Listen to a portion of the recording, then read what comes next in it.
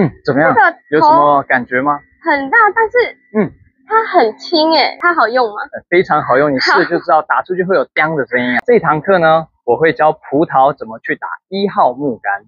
一号木杆跟铁杆的打法是完全不一样的，会把球呢去放在这个 T 的上面。那它第一个不一样的地方呢，就是球的摆位。原本七号铁是在两只脚中间，那以木杆来讲，因为它比较长，也要打得比较高，所以球的位置会是比较靠近左脚，站也会站得比较宽，会比较稳定。那基本上挥杆的时候呢，它的差异性就是不要去刷到草皮，感觉是往上打的。好的，我这边示范一次给各位看，所以球位靠左脚，一样还是可以去做转身挥出去，然后优雅的收杆，OK？来，你试试看。诶嗯，怎么样？这个有什么感觉吗？很大，但是嗯，它很轻哎。的确，设计轻的原因是因为就是让我们产生挥杆的速度。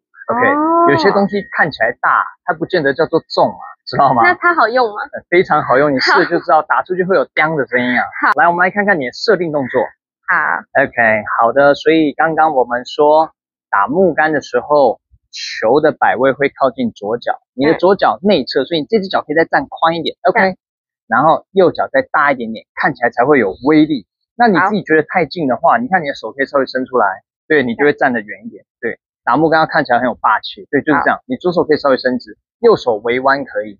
对，可以啊，看起来不错啊。好，你先练习做一个空挥杆的感觉。好，因为你先尝试打到 T，基本上你打得到 T，你就打得到球。你可以先轻轻的挥，来吧，轻轻的挥。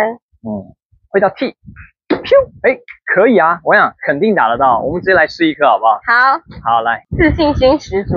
对，你专心的打到 T，球就会飞出去。好，好，来吧。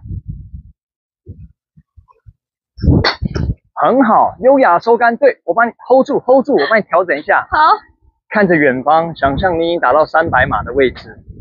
哦，对，撑住，自信的眼神。